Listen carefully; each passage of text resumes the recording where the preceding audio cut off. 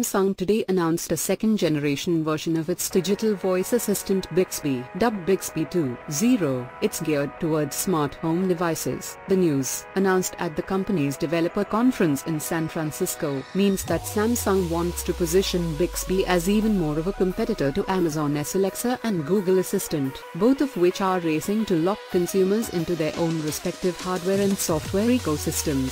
Samsung says the new Bixby will also be more capable at processing natural language and predicting user needs, regardless of which device it's running on. The new version of Bixby will act as the control hub of your device ecosystem, Samsung says, which includes phones, TVs, refrigerators, speakers, and the myriad other devices now being connected to the internet. Samsung says Bixby 2.0, like Alexa and Google Assistant, will also be open to developers to build and plug in existing apps and services. Starting today, Samsung's new Bixby software development kit will be open to developers in beta. The company is also launching Bixby on Samsung TVs starting in the US and Korea. Samsung first revealed Bixby back with the Galaxy S8 in March, but it took quite a few months to make its way from Korea to US Galaxy owners. Samsung has added support for more than 200 languages and more Android devices, but the software has often been hobbled by its confusing implementation. There are three different versions called Voice, Home,